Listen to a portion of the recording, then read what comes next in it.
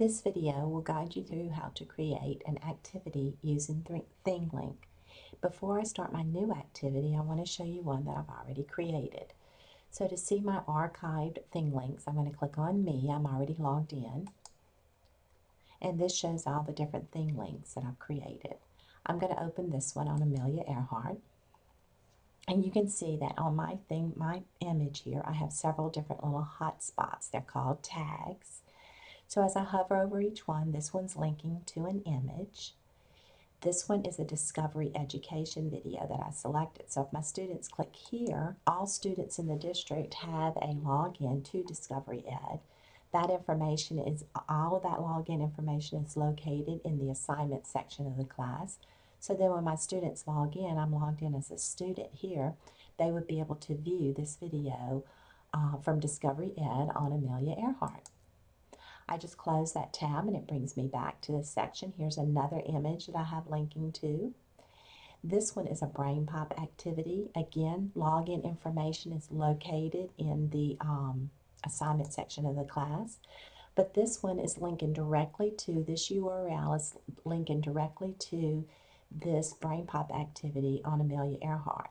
So again, students will be prompted to log in, and there's an individual school login for BrainPop for each school.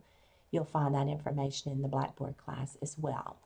So I'm going to close this tab, and my next hotspot leads to a URL site giving information about Amelia Earhart. As you can see, they can scroll through this site and get all the information that they need. And once they're ready to move back to the ThingLink activity, they just close that tab. This is just text giving information.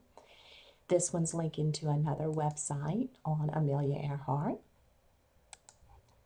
And this one is linking to a True TrueFlix activity. Again, all uh, schools have, uh, I'm sorry, second through eighth grade have logins to TrueFlix. Uh, that information is found in the assignment section. This one's linking to an article using Gale database. This is a great article on Amelia Earhart. And this one is a World Book article. So each time you get to one of those articles, they link directly to that article. You get the URL from that article. So now I'm going to actually create a, um, a ThingLink activity from scratch. So up here I have create. I'm going to tap on that. And now I'm going to go and choose my image. Now I've already done some work beforehand, so I've already located the image that I want to use.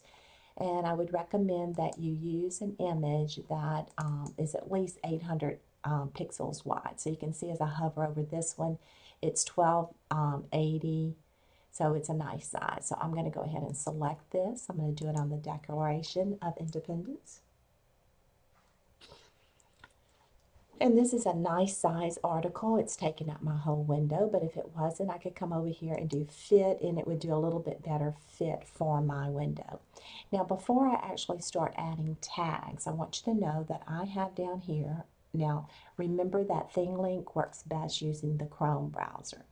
So I've opened up the Internet Explorer browser, and I've already done my pre-link to the link to the um, URLs or to the things that I want to link to. So I have a BrainPop activity here. I'm going to go and do some Google image search here. I have a, I'm going to do a discovery education video, and this is just a great URL showing the transcript of the Declaration of Independence. So we're going to start here. This is the BrainPop activity that I want to use. It's going to bring my students directly, this URL brings my students directly to the Declaration of Independence activity. Again, they will be prompted to log in. So I'm going to click here and get that URL. And now I'm going to go back to my Chrome browser. That brings back up my ThingLink activity. Now notice how my mouse is across T.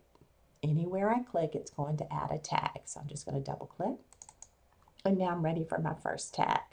So I'm going to come up here and I'm going to right click and paste the URL to that BrainPop activity. It gives a little description of BrainPop and I'm going to give my students a little more direction here.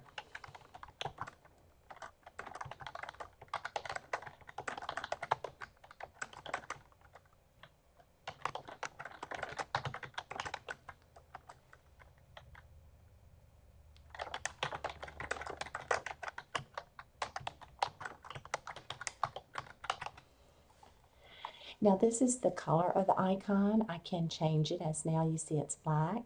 But with the free version, you do have the choices here. You have A, B, C, D, E, F. So I'm going to just select a color, and you can see it made that color change.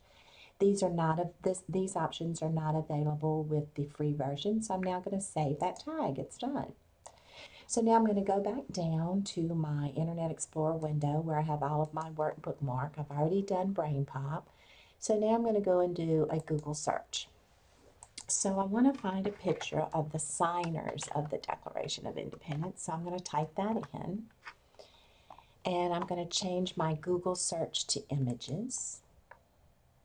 And as you can see, it brings up lots of images for me to use. So let's say I want to use this one. So I click. see, just a minute. There it goes. Now I am in Internet Explorer. So if I wanted to get the URL to this image, I would right click and I would go to properties. This is the URL that goes directly to this image. Now again, this is from Internet Explorer. If I was doing this in Chrome, I would right click and there would be an option to copy the URL to that image. So I'm just going to go and make a copy of this URL. I'm going to right click and copy and I'm going to click OK. And again, I'm going to bring up Chrome that has my ThingLink activity. I'm ready to add another tag. And I'm going to right click and I'm going to paste that image. And I'm going to give my students a little explanation about that.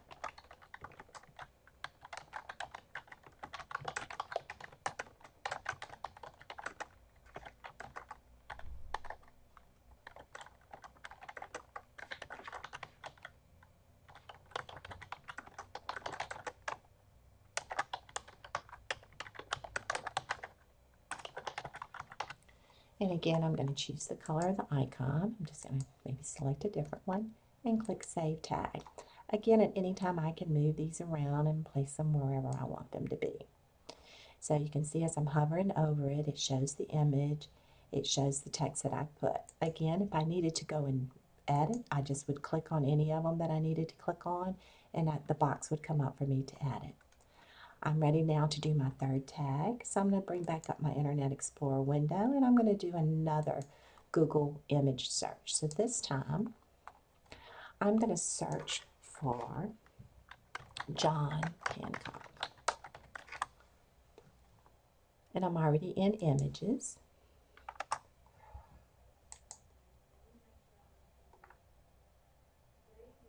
And I'm having a little delay. There it goes. Okay, thought my computer was about to freeze up. So as you can see, here's the Declaration of Independence. I'm going to open this one and you can see John Hancock is really big here. So I wanted my students to see that he was one, he was one of the first signers and you know how big his signature looked on the document. So again, I'm in Internet Explorer, so I'm going to right click. I'm going to go to Properties and I'm going to highlight that URL as well and make a copy and click OK. I'm going to bring back up my ThingLink activity and I'm now ready to add my third tag. I'm going to paste that URL and I'm going to give my students a little information about that picture.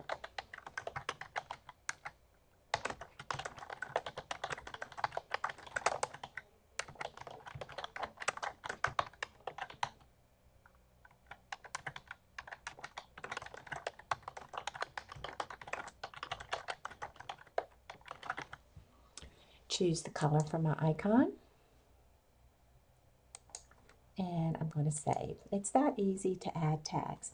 Now I do want to show you with um, a world book. I mean, excuse me, a Discovery Education site. So I'm going to bring back up my other browser. And now I'm going to go to Discovery Ed.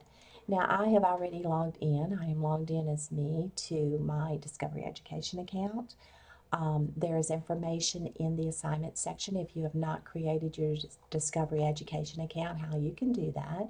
But I'm just going to do a search and I want my students to see what Independence Hall looked like, where they were when they actually signed. So I typed it into the search box and now I'm going to do a search.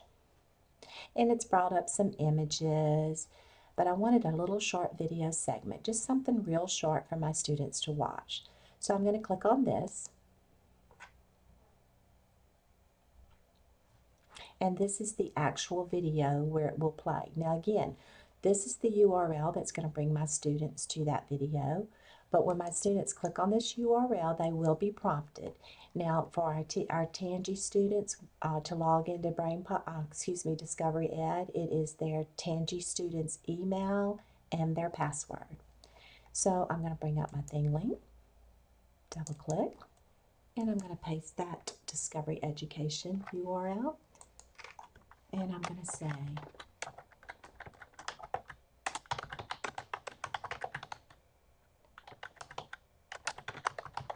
just something short and sweet. And I'm going to go and change my target color and I'm going to do save. Now you can do, remember we have added uh, a BrainPop link into a URL for a BrainPop activity. This one is linking to an image and I put some text. I could just add text without an image. Here's another one with an image. And of course this one was my Discovery Education. I'm going to bring up just to show you one more and this is simply just an article giving the transcript of the uh, Declaration of Independence. This is the URL that goes directly to it. So I'm going to right click and make a copy, bring back up my ThingLink, and double click, paste that URL, and I'm going to say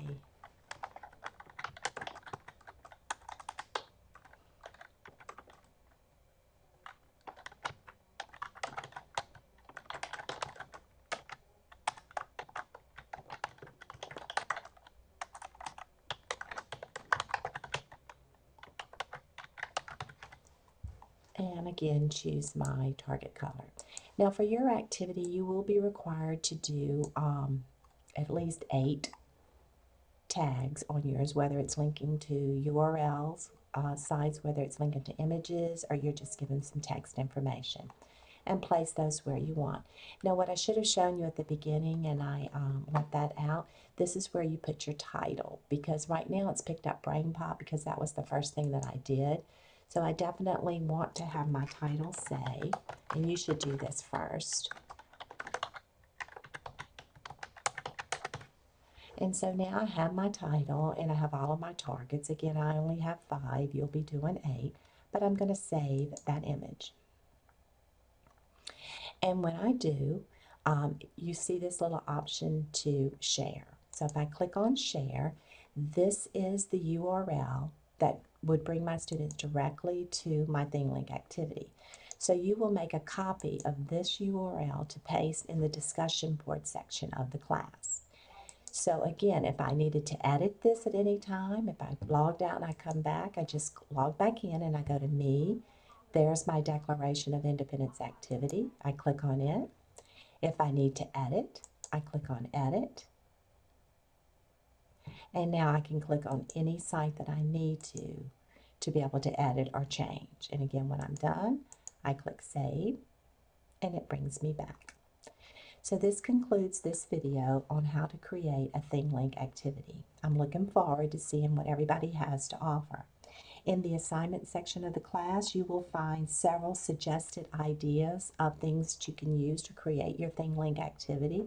Of course, you be creative or you can choose one from the list. That concludes this video.